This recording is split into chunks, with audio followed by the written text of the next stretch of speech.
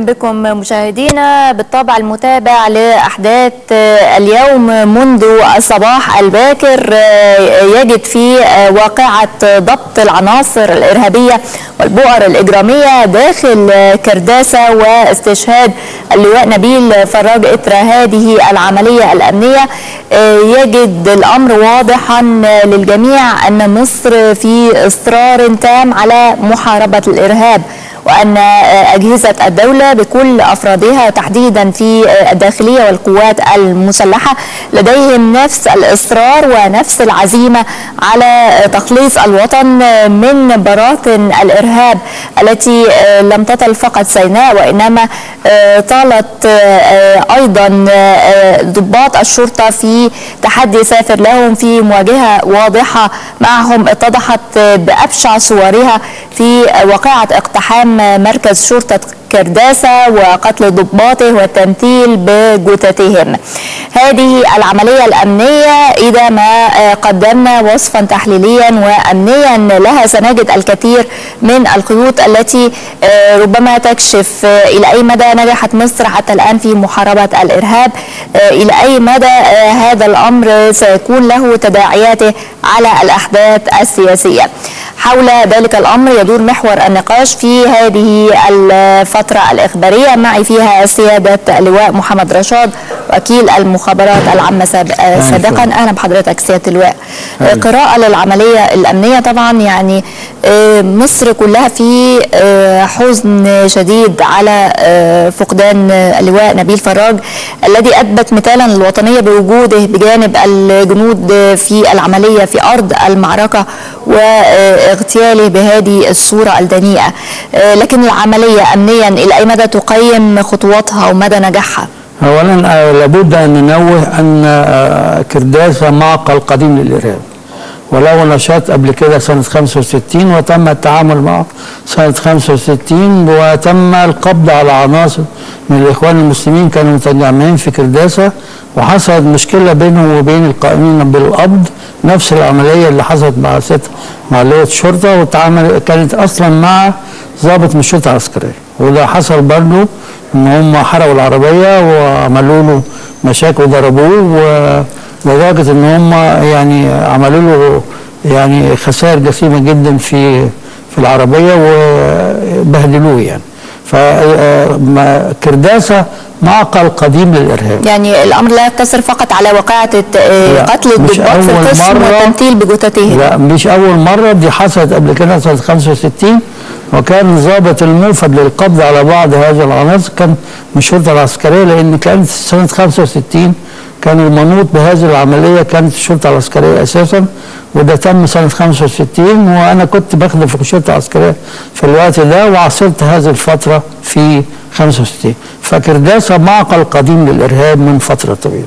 طيب العملية الأمنية اللي حصل النهارده ده موضوع كان لابد أن يتم لاعاده السيطرة الكاملة على كرداسة وعودتها مرة أخرى لحضن الوطن زي ما بيقولوا لانها ما لا يمكن أن يكون هناك بؤرة إرهابية موجودة داخل الدولة وتنفصل الانفصال كل عن الدولة لأن هذا تكرار هذا الموضوع يهدد الأمن القومي المصري بكل بكل عناصره السياسية والاقتصاديه والاجتماعية. وبالتالي كان لابد من مواجهة وتصفية هذه الجماعات.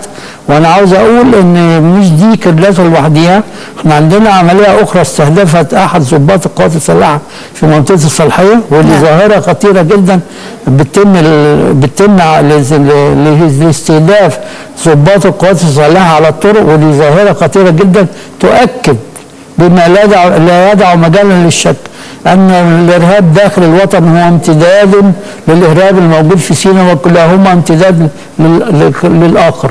فبالتالي لا, طيب لا يمكن الفصل. نعم. بين ما يحدث داخل الوطن وبين ما يحدث في سيناء وكلاهما إرهاب من الجماعات الإسلامية في هذا الموضوع وبالتالي لابد أن يكون معلوما أنه لابد أن يكون معلوما أن هذه العمليات تثبت أن القتل وسفك الدماء هي عقيدة ومنهجه لدى الجماعات الإسلامية في تعاملها مع عناصر الأمن وتعاونها مع الدولة عموما وبالتالي كل ما يختلف أي فرد أي لو اختلفت معهم الدولة ينقلبوا إلى جماعات إرهابية وبالتالي لابد أن نضع في اعتبارنا أو نحط من دلوقتي مفهوم أساسي أن كل الجماعات الإسلامية إرهابيون إلى أن يحدث العكس. طيب بس هذا الموضوع. مستمرين طبعا مع حضرتك في النقاش لكن خلينا نتعرف على الوضع في آه، كرداسة. الآن كان في حالة من الهدوء عقب هذه العملية الأمنية وعقب انتهائها. معي من هناك عمرو عبد العزيز مراسل النيل آه، ليوافينا بتفاصيل الوضع هناك. في هذه اللحظة عمرو آه، كرداسة الآن كيف تبدو؟ نعم إيمان يعني ربما الهدوء الحذر هو ما يسود منطقة كرداسة نعم.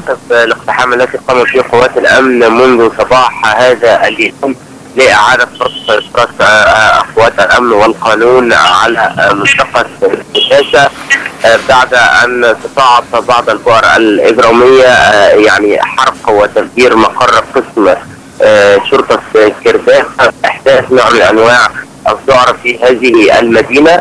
آه، يعني ما نلاحظ الساعات الأخيرة والقليلة الماضية وانسحاب قوات الأمن بشكل آه، كبير وعندما تحدثنا مع القيادات الأمنية عن سبب انسحابها من داخل ال- المدينة قالت أنه آه، لإعادة توزيع القوات مرة أخرى بشكل مختلف آه، في أرجاء آه، المدينة وحولها. هذا بالإضافة إلى عمليات التمشيط التي آه، تجرى آه، طوال الوقت ربما تكون في هذا التوقيت بشكل ملحوظ آه، لكنها هل معنى. ذلك إنه في ثقة من قوات الأمن إنه تم تطهير المنطقة تماما من جميع العناصر الإجرامية والإرهابية؟ لا لا نستطيع ان نؤكد على ذلك لأنه ما زالت توجد كمائن آه، ونقاط تفتيش في مداخل ومخارج كرداسة هذا بالإضافة لأن العدد ال- الذي من المفترض أن يتم القبض عليه هو يزيد عن ال 130 فرد تم القبض على حوالي 53 فرد حتى هذه اللحظة. لكن هناك إعادة لتوزيع قوات الأمن بشكل مختلف. عباره أن هناك خطة أمنية لم يتم الإصلاح عنها نعم. بشكل واضح في هذه اللحظة. أشكرك جزيلا عمرو عبد العزيز ناقلا آه، الصورة في آه، كرداسة ومؤكدا أن الهدوء الحذر يشوب آه، المدينة الآن آه، مع عدم وجود قوات أمن تمهيدا لإعادة توزيعها واعاده آه، التمشيط في المدينة وفي أرجائها. آه، على أي حال مشاهدينا دعونا نرصد لكم في هذا التقرير الذي نتابعه الآن مجمل ما وقع من أحداث آه، منذ بداية العملية الأمنية في كرداسة لتخليصها من العناصر الإرهابية.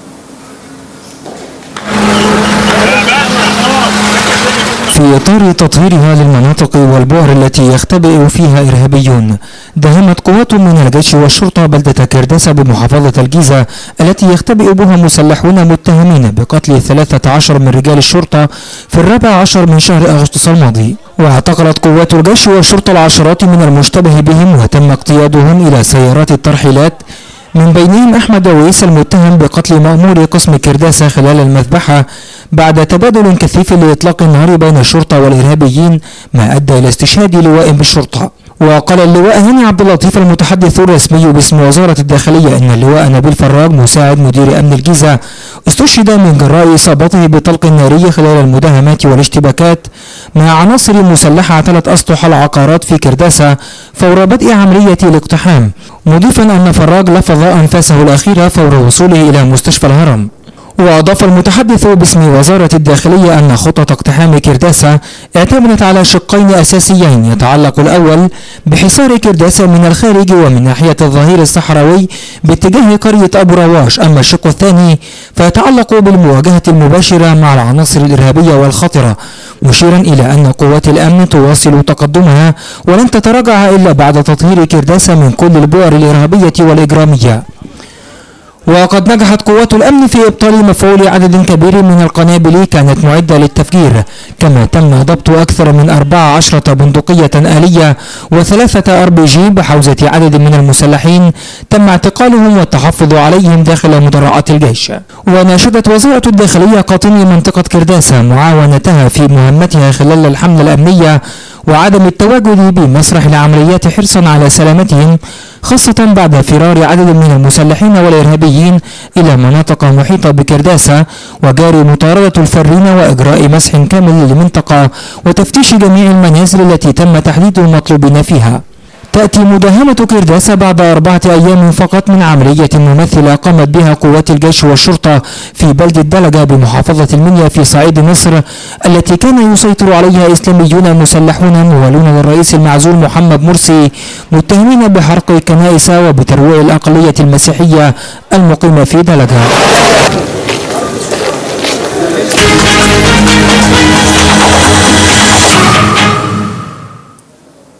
أهلا بكم مشاهدينا من جديد وانضم إلينا للنقاش الأستاذ أحمد الخطيب مدير قسم الإسلام السياسي بجريدة الوطن. مساء الخير أستاذ أحمد. وطبعا أعيد الترحيب مرة أخرى بضيفي سياده اللواء محمد رشاد وكيل المخابرات العامة سابقا. أهلا بحضرتك مرة ثانية سيادة اللواء. وأستاذ أحمد يعني ما حدث اليوم يعيد ويؤكد فكرة أن مصر في حرب واضحة وقوية ومباشرة مع الإرهاب. هذا الأمر إلى أي مدى ممكن أن يضيف تحدي أمام تيار الإسلام السياسي الذي كانت له هزة قوية غير يعني مستهان بها بعد ثورة 30 مليون. هو طبعا نحن في حرب شرسة واضحة صريحة. حرب وإن بدت صعبة لكنها في حقيقة الأمر سهلة لأن الأمر مختلف عن جميع المواجهات السابقة مع الجماعات الإسلامية. الجماعات السابقة الجماعات الإسلامية عندما كانت تواجه في الماضي في العصور السابقة سواء عصر الرئيس عبد الناصر أو عصر الرئيس السادات أو عصر الرئيس مبارك كانت تواجهها الدولة فقط السلطة فقط كانت تواجهها. أما الآن فالوضع مختلف تماما. الشعب والمجتمع المصري هو الذي يقف على خط المواجهة في البداية قبل الدولة والسلطة. في الماضي كانت الدولة عندما كانت تحارب الجماعات الإسلامية كان المجتمع يقف محايدا بل في بعض الأحيان يقف متعاطفا. أما الآن فالوضع مختلف.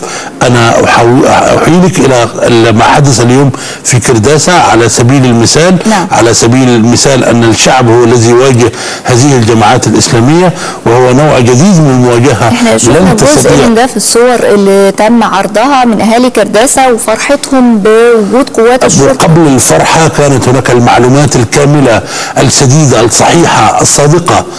وكانت تصل إلى اجهزه الأمن تباعا طوال الفترات الماضية كانت تصل إلى آه كانت تصل إلى اجهزه الأمن عن المجرمين والقتله والإرهابيين وكل من شارك وحرض بال بال حتى بالإشارة وحتى بالرضا النفسي على ما حدث في كرداسة.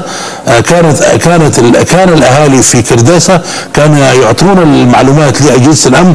أجهزة الأمن كانت العملية بالنسبة لهم نزهة خفيفة. آه طبعا بعيد عن استشهاد اللواء نبيل فرج رحمة الله عليه رحمة واسعة. نسأل الله عز وجل أن يلهم أهله الصبر والسلوان وهو يعني تضحية جديدة من الشرطة المصرية آه تقدمها من من دم أبنائها إلى الشعب المصري لكي تصحح وضعا آه كانت مظلومة فيه في الماضي في في, في الثلاث أعوام الماضية كانت الشرطة المصرية كانت مظلومة يعني تحملت الكثير من السخافات آه والانتهاكات ليه رغم إنه جهاز وطني شريف أنا أتصور أن المعركة بين الدولة والجماعات الإسلامية بين المجتمع والجماعات الإسلامية هي أعنف معركة للجماعات الإسلامية لأن المجتمع هو الذي نعم لأن الشعب مشترك. هو الذي يواجه هذه الجماعات الإسلامية. ليست الدولة فقط هي التي تواجه ولذلك فإن محن الجماعات الإسلامية كان كانت دائما من الجماعات الإسلامية تحديدا تنظيم الإخوان كان يقول أنه دائما يخرج من محنة إلى منحة. هذا الأمر غير صحيح بالمرة.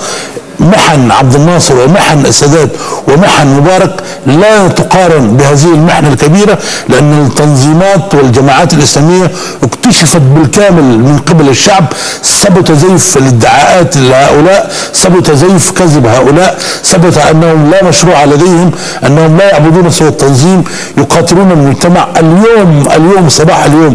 عندما نرى أن أحد هؤلاء يضع قنبلة ولو كانت بداية الصنع بجوار محطة مترو بماذا يسمى هذا الفعل الخسيس كانت الجبان ستحدث إصابات وستحدث قتل أي مكان هو لو يملك أن يضع قنبلة نووية لوضعها لأن هؤلاء لا, يؤمنون بالمجتمع يؤمنون فقط بالتنظيم لا يعبدون سوى التنظيمات. لا يعبدون نعم. سوى المجموعات أما المجتمع وإن كان سواء كان الدماء عندهم رخيصة الدماء عندهم سهلة لا يألون في المسلمين إلا والمصريين إلا ولا ذمة هذا هو ديدا بالإضافة إلى الخسه والنزالة في معاركهم مع المجتمع المصري. أنا أريد أن أحيلك إلى أمر آخر. طيب قبل نعم. هذا الامر اسمح لي آخذ تعقيب من سيادة اللواء على ما طرحته آه، إنه هذه المرة المعركة مختلفة لأن الشعب جزء منها. آه، ده شفناه في بوادر هذه الموجة من آه، ثورة ثورة 30 يونيو آه، الشعب هو من كانت كلمته هي العليا. شفناها في واقعة آه، اليوم في زي ما قلت الأستاذ أحمد يعني في بعض الصور أو لقطات الفيديو اللي أعلنت عنها وكشفت عنها الداخلية لتوضح تفاصيل ما حدث في كرداسة حتى لا يتم الخلط أو المبالغة أو آه، الكذب والتضليل. شفنا الأهالي كانوا مرحبين بقوات الشرطة شفنا الأهالي متبرعين بإن هم يساندوهم بالمعلومات. زي ما ذكر لنا أستاذ أحمد وده كان حاصل بالفعل. هذه الإضافة إلى أي مدى هي آه، تضع آه، إيجابية في آه، العامل الأمني على الصعيد ليس فقط النفسي ولكن على الصعيد العملي بالنسبة لقوات الأمن. هو عموما دي قاعدة المواطن هو أساس عملية الأمن. المواطن هو عيون أجهزة الأمن في الشارع. والمواطن النهارده لما بيلقى فرصة إن هو يتعاون مع أجهزة الأمن ويبقى في ثقة بين الطرفين بيبقى عنصر فعال جدا في منظومة الأمنية في الدولة. وعشان كده بنقول إن المواطن هو أساس عملية الأمن ووجوده أساس عملية الأمن. واللي حصل النهارده في كرداسة أو في أي مكان آخر من ناحية آه، آه، كان عنصر حاسم في إمداد اجهزه الأمن اجهزه الشرطة والجيش بالمعلومات الحقيقية عن ال- الت- الإرهابيين الموجودين في في آه، كرداسة. وده عامل مهم جدا. نتمنى أن يستمر لأن المواطن هو أساس عملية الأمن واساس عملية إمداد المعلومات ولا بد من الحفاظ على العلاقة الوطيدة بينه وبين كل أجهزة الأمن عشان يبقى عنصر فعال يقدر يبقى إضافة لأجهزة الأمن في إمدادها بالمعلومات اللي ممكن تفيدها في إنها تجهز أعم- أعمالها بالطريقة بخطط آه، آه، وافية. خطط مدروسة وتقدر تخش على هدف مظبوط وتحقق أكبر خسائر في في الإرهابيين دون وقوع أي خسائر في هذا لكن. واقع ذلك النفسي على قوات الأمن. آه، هو طبعاً حضرتك هو أقول إنه- لحضرتك إن- أحدث آه، آه، فارق خصوصا وإنه كانت العلاقة فيها نوع من أنواع الفتور بعد ثورة يناير. هو آه، كان في بنسميه شديدة في الم- بين المواطن عودة والشرطة. العلاقة الوطيدة بين أجهزة الشرطة وبين المواطن واللي لابد أن يكون أساسية وأن تستمر. مش تبقى لحظية ولا مؤقتة لابد أن تستمر لأن بنقول في النهاية أن المواطن هو أساس عملية الأمن وهو عيون أجهزة الأمن في الشارع وهو الموجود في الشارع 24 ساعة وبالتالي آه، آه، وجوده عنصر أساسي نعم. في المنظومة الأمنية للدولة نعم أستاذ أحمد آه، كان ليك تعقيب آه، آخر لكن اسمح لي اولا آه، ما حدث للصحفيين الأمر كان ليس فقط استهداف قوات الشرطة ولكن استهداف من يقوم بإيصال الحقيقة. إلى الناس. المصورين الصحفيين آه، اللي كانوا متواجدين في كداسة وعملية احتجازهم من بعض آه، يا سيدي سي- البلطجية. هذا هؤلاء تنظيمات مجرمة قاتلة هي تحارب المجتمع كله. لا تألو لا يعني لا ترقب في أي إنسان إلا ولا ذمه يعني ديدن القتل وال- والتعامل القاسي مع هؤلاء يعني انظري إلى حادث كرداسه الذي نحن بصدده. يعني كيف يفعل إنسان ما فعل فيها في قسم كرداس هل يعقل أن نرى إنسانا يعني يمثل بجثة إنسان. إذا إذا كان الرسول صلى الله عليه وسلم عندما أمرنا بالقتلى أو الذبحة قال فإذا قتلتم أو ذبحتم فيما معناه فأحزنوا الذبحة ما بالك إذا كان إحنا مأمورين أن نفعل ذلك مع الإنسان. فكيف بمن يمثل بالجثث ومن يقتل وي- ويعني ويتشفى بهذا؟ يعني هؤلاء جزء مما نرى في سوريا. هؤلاء كانوا ي- يأكلون أكباد ال- ال- القتلى. يعني وهؤلاء مجرمين إلى درجة آه، لا يستقيم معها لا دين ولا إيمان ولا إنسانية حتى. يعني هؤلاء آه، أنتم تحدثينني عن آه، مصورين وصحفيين. هم الآن في معركة مع المجتمع كله. هم كافرون بالمجتمع يكفرون بالمجتمع. لا يرون يعني رأيت تنظيما خلاف سياسي يصل إلى درجة أن يطلب بعض من قادة هؤلاء أن يطلب من المجتمع الدولي أن يأتي بجيوشه وطياراته و و و و وقده وقديده من أجل أن من أجل السلطة ومن أجل خلاف سياسي. أن يحت- يحتل البلاد. يريدون أن يفعلوا كما فعلوا في سوريا كما فعل في ليبيا. انظري إلى الأستاذ القرضاوي الذي يجعل من مسجده في قطر منصة إلى هدم الجيش المصري والدعوة على الجيش المصري والدعوة على المجتمع المصري. كل ذلك لأن هؤلاء يعبدون التنظيمات يعبدون يعبدون القيادات لا يعبدون الله يعبدون التنظيم. نعم. هم يحبون ويكرهون في التنظيم. هؤلاء يقاتلون المجتمع. لا أنا أرى أن هذه الجماعات ال- ال- الحل الحل السديد معها لابد أن يكون بالأمن اولا ثم بالفكر. ليس العكس لأن الفكر فكر هؤلاء يتحول إلى جريمة جنائية وجريمة. عندما نرى أحدهم يكفر شخصا ما التكفير يعني مباشرة هو استحلال الدماء. أنت هنا أمام جريمة فكرية وجريمة أمنية. نعم. اذا الأمن الفوق الأمن. والفكر لابد أن أن يكون جناحين للمواجهة. لا يجب أن يكون هناك حل واحد فقط. لا يجب أن يكون هناك حل فكري فقط. لا يجب أن يكون هناك حل أمني فقط. لابد أن آه، وما فعل وزير الأوقاف في وأنا أريد أن يكمل هذا هذا المشوار. هو منع ال- الخطابة في الزوايا ومنع غير الأزهريين المتخصصين. يعني إجراء اتخذ بالفعل وهناخد تعقيب أكيد عليه. أنا لا أنا. أعتقد أن هذه أحد المواجهات المهمة نعم. في مواجهه هؤلاء يعني. طيب اسمح لي أستاذ أحمد ينضم إلينا للنقاش سيادة اللواء مصطفى رجائي مدير منطقة الجيزة وقائد عمليات آه، نهية التي تمت اليوم أيضا مساء الخير سيادة اللواء. أهلا مساء الخير يا فندم مساء الخير الكل. يعني ما حدث في ناهية إلى أي مدى آه، تنقل لنا نتيجته آه، كما ترصدونها آه، أمنيا في جهودكم لملاحقة العناصر الإرهابية؟ يعني اولا يعني اولا وأخيرا الحمد لله ورب العالمين على اساسه اللي هو حطه علينا. إحنا الحمد لله العمليات ناجحة الحمد لله. ما فيهاش أي يعني ما فيها أي خسارة. لكن الحمد لله مسيطرين سيطره كامله على المكان. آه، وال- والاهالي نفسهم بيحبونا ويستقبلونا استقبال يعني غير مسبوق يعني. ويعني الحمد لله يعني محققين جميع الأهداف تقريبا بتاعتنا لغاية دلوقتي. يعني ممكن نقول أن منطقة ناهية أصبحت خالية من العناصر الإجرامية أم من المبكر أننا يعني آه، لا مش خالية مش ال- الخلاء دوت آه، يعني هي كلمة كبيرة آه، يعني كبيرة تشمل حاجات كتيرة. فطبعا ما أقدرش أقول لحضرتك خالية تماما لا هي اللي إحنا لغاية دلوقتي ال- اللي طبعا الخطة ديت هي خطة أمنية ب- يعني آه، على ليها ليها خطواتها أو مراحلها. في كل مرحلة ليها نتيجة نهائية. إحنا وصلنا. النهارده في أول يوم إحنا تعاملنا فيه معاهم. إحنا وصلنا الحمد لله للنتائج اللي إحنا عايزينها. الحمد لله بأسرع وقت بأقل مجهود. يعني الحمد لله وفي سيطرة كاملة على على المكان. طيب سيادة اللواء لو اتكلمنا عن آه، كرداسة ناهية قرية دلجة لو اتكلمنا عن العامل المشترك ما بينهم نقدر نقول إنها آه، يعني عملية أمنية أولى أهدافها اللي آه، نقدر نقول إنها تحققت بشكل ملموس وبشكل مضمون.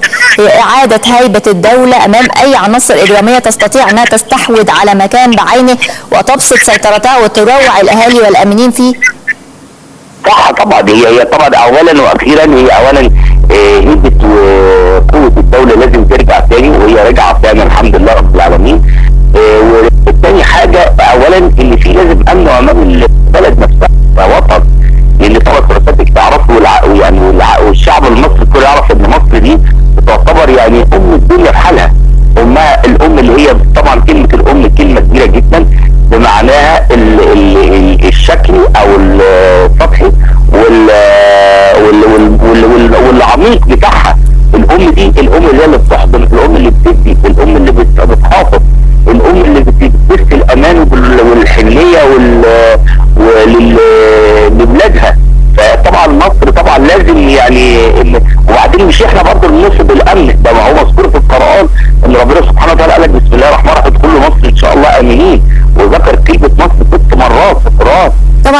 ما في شك إن إحنا يعني اليوم في مواجهة وحرب مباشرة مع الإرهاب. آه، نوعية الأسلحة وطبيعة العناصر الإجرامية اللي كانت موجودة في ناهية واستطعتم أن آه، تقوموا بضبطها هل هي آه، من الممكن أن نطلق عليها أنواع من البلطجة أم من العناصر الإسلامية المتطرفة التي تريد أن تنتقم لزوال حكم الإسلام السياسي؟ هو حضرتك معلش يمكن هو يعني هو في في اختلاط بينهم جامد يعني هو في اختلاط بينهم جدا بين بين الأن- بين الانواع اللي أنت حضرتك ذكرتيها ديت ويعني ممكن أنا أقدر أحتفظ بنفسي بالإجابة ليه؟ لأن الإجابة ديت ليها بعد امني بعيد يعني فأنا بستأذن معلش يعني ما أقدرش أوضح أكتر من كده. نحترم ده طبعا يا سيادة اللواء يعني حرصا وحفاظا على عملياتكم الأمنية وأكيد بنتمنى لكم كل التوفيق اشكرك جزيلا. سيادة اللواء مصطفى رجائي مدير منطقة الجيزة وقائد عمليات آه، ناهية. آه، سيادة اللواء آه، يعني بالتأكيد تحدي أمني آه، كبير. خصوصا آه، عندما يكون استخدام العنف آه، والقدرة على الترويع ليست بحاجة إلى القوة. يعني استخدام القنابل اليدوية آه، قنابل بدائية الصنع آه، مع الأسف أنه أي شخص ممكن أن يقوم بها. هذا التحدي آه، لأي مدى يمكن مواجهته أمنيا؟ آه، خصوصا أنه آه، يعني في وقائع كثيرة لمسناها لقنابل يدوية ألقيت في كذا مكان بحدث بهدف إحداث آه، قتلى بهدف إحداث بلبلة نقل صورة عن أن مصر يعني الدم فيها في الشوارع وهي ليست الحقيقة. هذا تحدي آه، الأمني لأي مدى مصر قادرة على مواجهته الآن؟ هو قبل كل حاجة على أجهزة الأمن كل حسب مستواه التنظيمي سيادية أو حربية أو داخلية أن تسرع بإنشاء قاعدة للمعلومات عن نشاط الجماعات الإسلامية. حتى تتعاملي مع الفعل بدون انتظار رده وتمنع الجريمة قبل وقوعها. من هنا لابد أن يكون هناك قاعدة معلومات أساسا وقاعدة المعلومات دي مش على نشاط الجماعات الإسلامية بس على كل من يدخل في صناعة المتفجرات داخل مصر نعم. كل الكيماويات الموجودة داخل مصر أن توضع تحت تحت رقابة الدولة أنا الأوان زي زمان أن تضع تضع كل هذه المكونات اللي بتؤدي إلى صنع المتفجرات تحت رقابة الدولة ويتم مراقبتها حتى نعلم حتى نعلم من هم اللي بيستفيدوا منها لأن هي كل التركيبات الموجودة في القنابل دي كلها بدائية بتعتمد على مكونات كيميائية موجودة في السوق لأي حد. فلا بد أن يكون هناك رقابة على هذه المكونات اساسيه عشان نبتدي نعمل عملية تجفيف لعمل لإمداد هؤلاء العناصر بهذه المكونات. يعني ممكن أنا- على وسائل صنع هذه القنابل بالظبط بالإضافة ان أنا عندي متفجرات جاهزة. موجودة في في مع مع عاملين في المناجم والمحاجر برضه لابد أن يكون هناك رقابة عليهم حتى لا تتسرب هذه هذه المفرقعات إلى هذه العناصر. وبالتالي ده جزء أساسي كبير أساسي لابد أن يت- تتم الدولة سيطرتها على هذه الموضوعات حتى لا تستطيع هذه الجماعات أن تستخدم هذه ال- ال- الكيماويات وهذه المتفجرات في إنها تحدث بلبله في الشارع المصري. بالإضافة إن أنا مطلوب برضه على اجهزه الأمن الأمن والقوات المسلحة أن نعم. تغير منهجها في التعامل مع الإرهاب من عملية المواجهة الأمنية إلى الردع الأمني الردع الردع الأمني النهارده تبتدي تعملي عمليات وقائية استباقية عشان تبتدي تردعي مثل هؤلاء الناس قبل التفكير إن هو يعملوا أي عملية ممكن تحدث. وبالتالي التعامل مع المهندس مع الجماعات الإسلامية لابد أن يكون مواجهة واسعة على كل على مستوى الوطن ككل. زي ما إحنا بنعمل في سينا نعم أنا الأوان بقى دلوقتي أن نبتدي نطبقه داخل الدولة ونبتدي نتعامل مع الجماعات الإسلامية كلها. بعد اللي حصل في كرداسه والصعيد واستهداف ضابط الجيش الموجود في الصالحيه أن نتعامل مع هؤلاء الجماعات الاسلاميه على إنهم كلهم إرهابيون إلى أن يحدث العكس. نعم أستاذ أحمد آه، طبعا بغض النظر عن التفاصيل سيادة اللواء مصطفى رجائي تحفظ في يعني إجابته على آه، ماهيه وهويه العناصر اللي تم ضبطها والأسلحة وما شابه. آه، لكن آه، تعتقد أن هناك خلط وهناك استغلال للموقف ما بين آه، من هم آه، يستغلون مثل هذه الأمور آه، لإشاعة آه، البلطجة وترويع الامين الأمنين وبين من هم أيديولوجيتهم آه، آه، تجد مبرر لإحداث العنف للدفاع عن عقيدتهم. يعني نحن أمام هجمة شرسة من هذه الجماعات الإسلامية منذ عزل الرئيس السابق أو المعزول محمد مرسي داخليا وخارجيا. استخدام كل أنواع الكذب والإشاعات والتضليل وكل هذه الأنواع تم استخدامها داخليا وخارجيا. تنظيم الإخوان يقيم حملة علاقات آه، آه، يقيم حملة شرسة في الخارج في أوروبا وفي و- ويصرف ملايين الدولارات من أجل إساءة إلى الجيش المصري. وقوات الأمن المصرية من ويتحدث عن الديمقراطية وهو لا لا علاقة له بالديمقراطية يتحدث عن الدين في الداخل وهو لا علاقة له بالدين. التنظيم الإخوان والجماعات الإسلامية تحاول قدر جهدها أن تسيء إلى الدولة المصرية ايما إساءة تستدعي القوات ال- القوات القوات الخارجية القوات الأمريكية الأوروبية تستدعيها من أجل تدخل في الشؤون المصرية. تقفز فوق خلاف سياسي بين فرقاء سياسيين في الداخل إلى فكرة إنهاك الدولة والسيطرة عليها وهدم الدولة.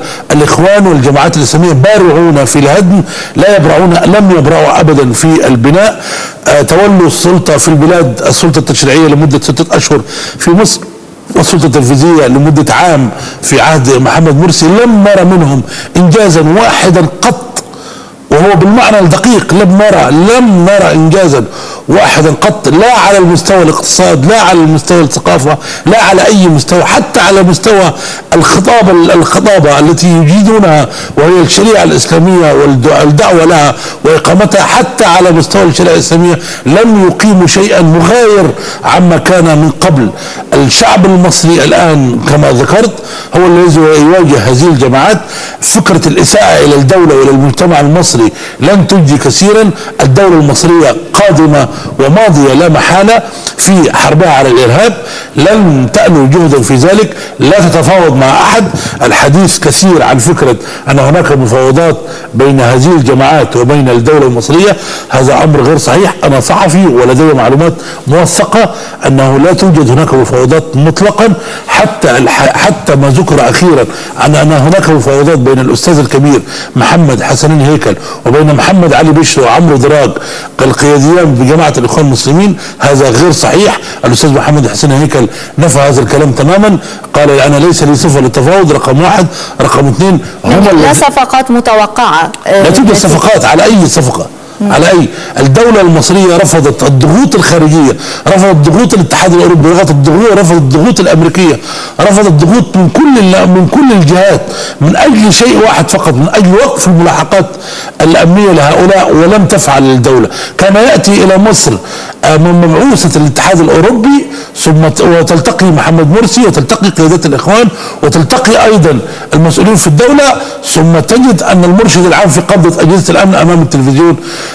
كان كان وزير الخارجية الأمريكي يأتي إلى القاهرة يطلب الإفراج عن محمد مرسي وقيادات جماعة الإخوان. نجد أن اجهزه الأمن ثاني يوم تعلن القبض على قيادات جماعة الإخوان. حتى قبل حتى أول أمس والإعلان عن جهاد الحداد القبض على جهاد الحداد الذي الذي أخرجت وزارة الخارجية الأمريكية بيانا بشأنه اليوم لتتحدث عن جهاد الحداد وتدين عملية القبض على جهاد الحداد على جهاد الحداد. أحد هؤلاء العملاء الخونة الذي قلب الخارج على الدولة المصرية يقلب الاتحاد الأوروبي ويقلب المجتمع الدولي ويسيء إلى شكل الجيش المصري في الخارج تعدى حدود الخلاف السياسي إلى حدود الخلاف على الدولة وعلى المجتمع. كل ذلك يؤكد أن الدولة ماضية ماضيا عزما ماضية بشكل واضح أنها لن تتفاوض مع أحد نعم. لن لن تساوم على أمنها القومي لن تساوم على أمن البلاد لن تساوم على أي شيء. يد الدولة يجب أن تكون هي العليا.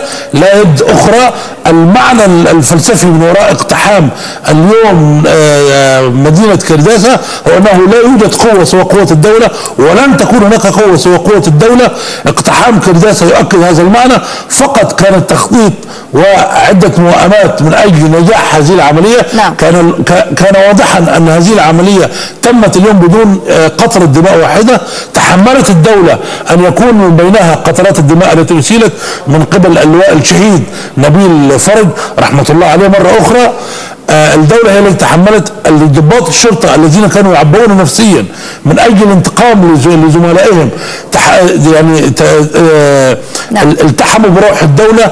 آه، قيادات الأمن اليوم صباح اليوم اجتمعت بهم قبل عملية الاقتحام أخبرتهم أنهم الدولة وأنهم دولة وأنهم أم رؤوم للمجتمع.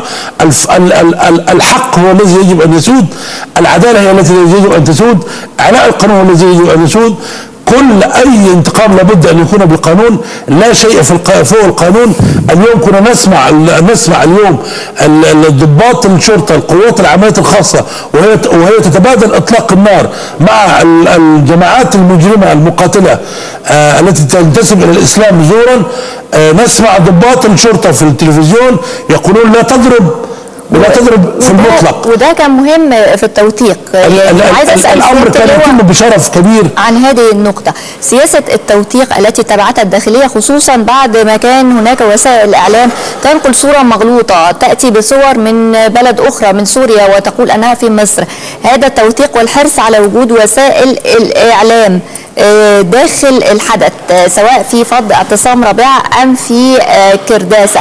إلى أي مدى هو آه، ساهم آه، آه، أنه يكون من الأمور والأسلحة الجديدة أو الدروس المستفادة بالنسبة لوزارة آه، الداخلية؟ قبل ما نجاوب على هذا السؤال سيادة اللواء اسمح لي أن يكون معنا هاتفيا الأستاذ يسري البدري رئيس قسم الحوادث في جريدة المصري اليوم. مساء الخير يا أستاذ يسري. ايمان مساء الخير فندم. أهلا بيك. والنهارده العمل الصحفي أكيد كان آه، شديد القسوة آه، خطورة شديدة آه، لكن يعني زي ما كنت بسأل سيادة اللواء آه، آه، آه، هذا الأمر كان مهم لتوثيق ما يحدث ونقل الصورة لقطع الطريق على أي آه، قناة إعلامية تحاول أن تضلل. لأي مدى آه، الصحفيين واجهوا مهمة صعبة النهارده في كرداسة؟ والله إحنا واجهنا مهمة صعبة فعلا. النهارده زمايلنا كانوا بيغطوا الأحداث وإحنا كنا معاهم وكانوا وسط إطلاق نار آه، لدرجة ان إن إحنا كنا بعض المصورين زمايلنا كانوا بياخدوا الصورة وهم على وضع الانبطاح على الأرض. بعد بعد.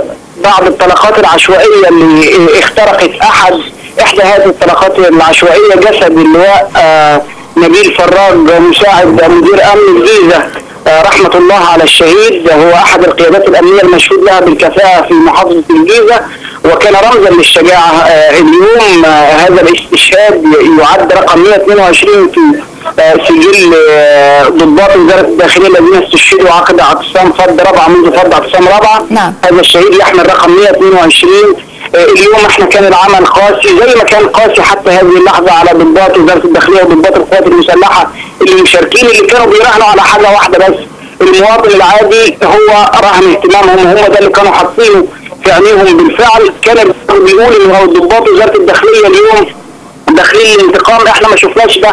إن هم داخلين الانتقام بدليل إن هم عندهم حاله استشهاد وعندهم عدد كبير من المصابين في حين إن الجانب الآخر من العناصر المسلحة ما عندهاش غير حاله إصابة واحدة لشخص حاول إلقاء قنبلة على القوات وإن القوات تعاملت معاه فأصابته بطلقة نارية نعم. في قدمه الأجهزة الأمنية النهارده كانت بتقوم بعمل ال- الشعب النهارده في منطقة كرداسه تحديدا حياها وإداها رد الجميل عليه إن هو يشوف كمية من التسقيف كمية من الزغاريد كميه من المشروبات اللي بيقدمها الأهالي للقوات المسلحة. ان الشعب بقى يعني طرف في المعادلة الأمنية ومشارك لقوات الأمن وداعم ليها في محاربة الإرهاب. أشكرك أستاذ يسري البدري رئيس قسم الحوادث في المصري اليوم. سياده اللواء التوثيق هو. الإعلام الوثائقي عامل مهم جدا في نقل الحقيقة للرأي العام الداخلي والخارجي. وده طبعا عامل مهم جدا لكشف زيف وحقيقة هؤلاء العناصر الإسلامية اللي بتدعي الإسلام وهي بعيدة كل البعد عن الإسلام لأن بعتقد الإسلام بعيد كل البعد عن سفك الدماء والقتل نعم. وعملية نعم. الاستهداف اللي بتتم لضباط الشرطة أو أو ضباط القوات المسلحة لا بعيدة كل البعد عن الإسلام وتكشف هؤلاء زيف ه- آه، تج- آه، منهج هؤلاء الجماعات وتؤكد تماما أن العقيدة الممنهجة لهذه الجماعات الإسلامية هو القتل وسفك الدماء إذا اختلفوا سياسيا لأنها لا يمكن أي خلاف سياسي يؤدي إلى ما نحن فيه. فهو عندهم شهوة للسلطة عنيفة جدا وبالتالي يك- يكشف للمجتمع الداخلي والخارجي أن هؤلاء الجماعات جماعات مزيفة ولا تنتمي للإسلام بأي شكل. من الإشكال وبالتالي احتضانهم داخل المجتمع من المواطنين أصبح آه، شيئا صعبا وعلى المواطنين أن يعلموا حقيقة هؤلاء المزيفون الذي يدعون الإسلام و و ويبتدي يعني تجرب هذا الموضوع. وبالتالي لا بد أن يكون هناك عملية رفض للمجتمع من هؤلاء العناصر ونشاطهم على مدى ال- السنوات القادمة. آه، طيب آه، أستاذ أحمد آه، سيادة اللواء في بداية الحلقة وقبل انضمام حضرتك لينا كان بيتحدث عن منطقة كرداسة وقال إنها يعني كانت بؤرة للإرهاب منذ نعم. زمن طويل يمكن إحنا الضوء ألقي عليها بشدة وبكثافة بعد الواقعة المؤسفة اللي حصلت في قسم كرداسة وقتل ضباطه طلعت إشاعات النهارده كتيرة تم نفيها من قبل الداخلية إنه تم القبض على عبود الزمر وطارق الزمر كان في أقاويل كثيرة أن عاصم عبد الماجد موجود ومختبئ في كرداسه وكان في أمل من القبض عليه بعد هذه العملية الأمنية. آه، هذه الأسماء ليها علاقة بما يحدث في كرداسه في رأيك؟ آه، هي للأسف الشديد الذي يسيطر على منطقة كرداسه هو آه، طبعا آه، تنظيم الإخوان له اليد العليا في آه، منطقة كرداسه آه، لكن أيضا آه، هناك وجود مكثف للجماعات الإسلامية الأخرى. آه، عبود الزمر ليس مطلوبا. المطلوب هو ورق الزمر آه، آه، عاصم عبد المجيد ينتقل من مكان لآخر. أيضا عصام عريان ينتقل من من لآخر مكان لآخر. آه، أعتقد أن ال- اليومين القادمين سيشهدان بإذن الله تعالى مفاجآت في، آه، ملاحقة هذه العناصر؟ في ملاحقتهم. وزارة الداخلية عازمة على القبض على جميع أنا عايز أقول لحضرتك إن العملية دي كمان أيضا قانونية تتم في تحت غطاء من القانون يعني ليست بعيدة عن القانون. آه، ما, ما, تقوم به اجهزه الأمن اليوم هو تنفيذ لقرار النيابة العامة بضبط وإحضار 145 143 متهم مطلوبا للعدالة. آه، هؤلاء من وردت اسماءهم في قتل وسحل ضباط كرداسة آه، بالصوت والصورة وبالمعلومات وما إلى ذلك. هم في النهاية برضو أيضا متهمين مطلوبين بالإضافة إلى جماعات إسلامية أخرى. أنا عايز أقول لحضرتك أيضا كمان منطقة كرداسة من المناطق المهمة جدا في حشد المظاهرات وحشد ال- لتنظيم الإخوان في الفترات الماضية. إحنا نرى في إن جنوب الجيزة جنوب الجيزة إحدى الم- المناطق الكبيرة اللي بيخرج منها تنظيمات مجموعة مسيرات لمسيرات غير سلمية لتنظيم الإخوان. نعم. أيضا منطقة كرداسة والهرم وما و- وناهية وما إلى ذلك. منطقة تجمع كبيرة لمسيرات جماعة الإخوان. آه، لعلك أيضا تع- تعلمين أن قسم بلاق بلاق الدكرور آه، يتم من حين لآخر آه، إلقاء القنابل عليه وضربه كلها كل هذا نتيجة كرداسة وما معنى تفعله كده في إن إحنا. ننتظر آه، آه، يعني نتائج امنيه ملموسة بعد السيطرة على الوضع في كرداسة آه، إن شاء الله بإذن الله اجهزه الأمن تطوق مدينة كرداسة بالكامل و ده اللي منتظر الآن لا هو هو بالفعل بيتم تطوقه حتى يتم القبض على المطلوبين نعم. يعني هذا الذي يحدث هي الجماعات الإسلامية هي اللي تسيطر على على طيب على السؤال الأخير سيادة اللواء تعتقد إن الداخلية بحاجة إلى إمكانيات أكبر في التسليح؟ ده شفناه النهارده بدأنا نشوف طائرات تابعة للداخلية بدأنا نشوف يعني ملابس جديدة. هذه الأمور امنيا شايف إيه الإضافة اللي ممكن يتم إضافتها على إمكانيات هو الداخلية لازم حتى يكون تقاوم؟ تسليح قوات الشرطة أعلى من تسليح أي إرهابي. ولا بد ان مع ده برضه من يأتي من خلال قاعدة المعلومات نعم. قاعدة المعلومات لا تنتمي على نشاط بس نشاط وتسليح وتدريب وكل ما يخص هذه الجماعات الإسلامية وبالتالي يوضح للمخطط للم- للتعامل مع هذه ال- الجماعات الإرهابية نوع السلاح وكميته الموجود مع كل فرد حتى يكون أعلى من تسليح هؤلاء الجماعات ولا بد أن يكون ذلك مستمرا وواضحا ومتدرجا ومتطورا أي تسليح يخش على الجماعه الاسلاميه لازم أجيب ما هو أعلى منه بأي شكل من الأشكال لأن لازم أحقق للمو... لل... لل... لأجهزة الشرطة آه، كمية أسلحة عالية جدا نعم. للتعامل مع هؤلاء العناصر ولازم تبقى مفهوم ضمنا إن موضوع المهاجم بيبقى في لحظة آه، آه، ضعيفة جدا بالنسبة للمدافع وبالتالي لابد أن يكون للمهاجم قوة نيران عالية جدا حتى يستطيع أن نعم. يعوض هذا النقص في إنه داخل على واحد هو مش شايفه قوة نيرانه مش معروفة وبالتالي لازم يبقى عنده قوة نيران عالية جدا عشان يقدر يغطي نفسه ويشتغل بكفاءة في هذه المنطقة ولابد أن يكون التسليح وقوة النيران عالية جدا وتحقق الردع لهؤلاء العناصر أشكرك سيادة اللواء محمد رشاد وكيل المخابرات العامة سابقا. أشكرك أستاذ أحمد الخطيب مدير قسم الإسلام السياسي تحياتي بجريدة لسيادة اللواء الوطن. شرفت بوجودك في أهلا بحضراتكم. أشكركم مشاهدينا على المتابعة آه، التي آه، لا تزال مستمرة بعد لحظات تأتيكم نشرة إخبارية شاملة. إلى اللقاء.